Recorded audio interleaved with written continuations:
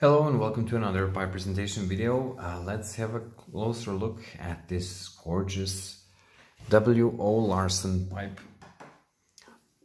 Um, I wrote quite a bit about it in the description. Um, I'm positively sure it was. It, this is an example made by Teddy Knudsen uh, back in the second uh, period of W.O. Larsen.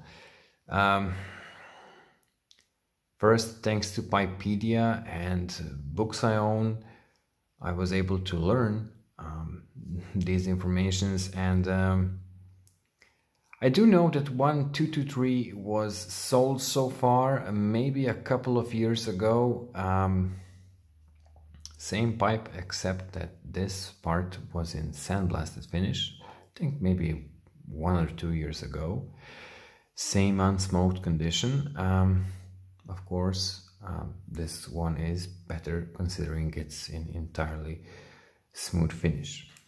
Now I'll leave it up to you to do your research read the listing and just enjoy everything this pipe has to offer. Let's uh, let's just have a closer look. We have the wider and shallow saddle stem oval lip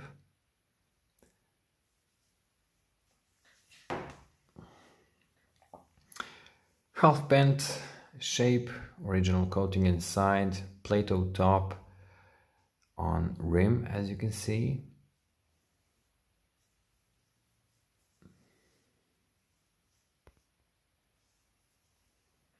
It's a bit higher on this side you can see it like this. Um, stain is in orange color and uh, there is uh, very nice grain on it. Not maybe covered entirely in straight but it is very very nice. Um, what can I tell you about this pipe? Um, simply while holding it it's relatively light in the hand.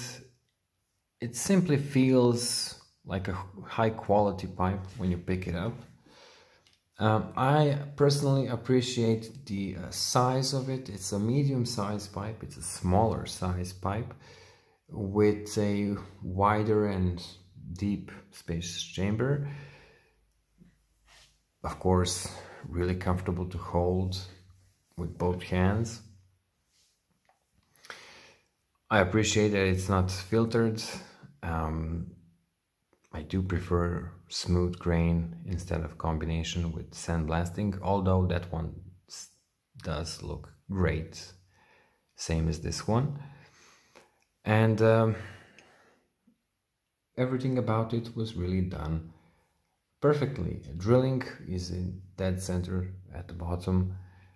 Um, briar selection, vulcanite stem, everything is really top notch. Um, this is really a highly collectible uh, pipe, especially in unsmoked condition. And just let me show you real quick. It comes with this sleeve, sort of rubbery-like. It's a bit hard on touch. Uh, it might be the case that it has simply dried a bit, so it needs to be softened up. I don't have those creams for, for leather that will make it um, soft and you know creamy again on the feel.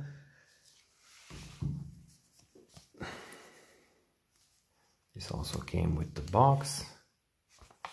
Interesting stuff. How to keep your how to break in your pipe. How to clean it and maintain.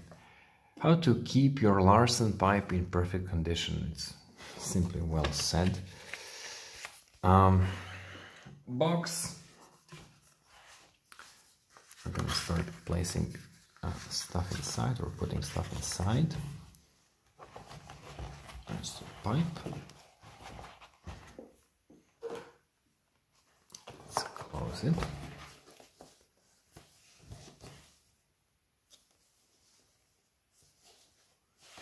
Box has seen better days, but it came with the pipe, so it's always a big plus, of course. Um, that's all for this short presentation. Thank you all for watching and I'll see you in the next one.